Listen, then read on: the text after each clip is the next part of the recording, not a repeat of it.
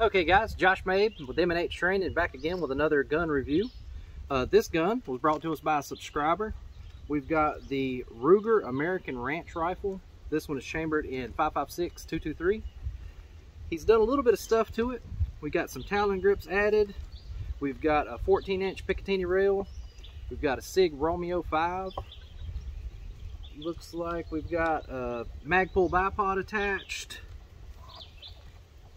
And he has added a aftermarket flash hider. Everything looks good. This particular gun's got a 16 inch barrel.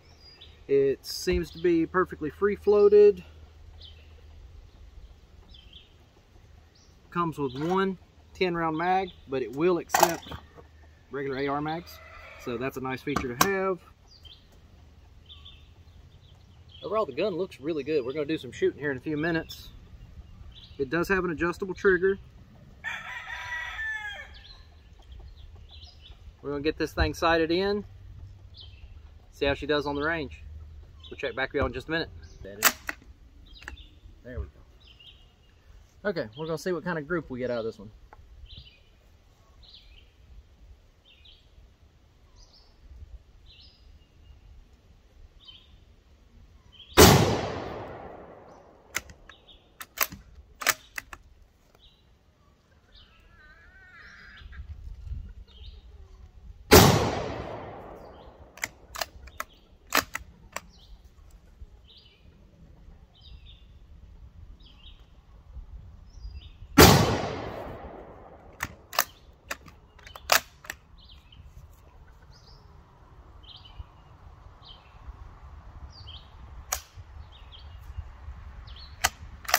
Just check the three shot group on that one.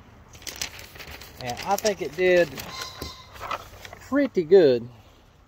If you can see that there. Three shots all touching. Yeah, I think this is a shooter. So we're going to do some more shooting today. Uh, but that's first impressions.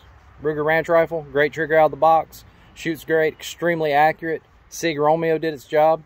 I uh, really appreciate our subscriber for bringing it out for us today and we'll catch y'all on the next video. Please like and subscribe. Y'all have a good day.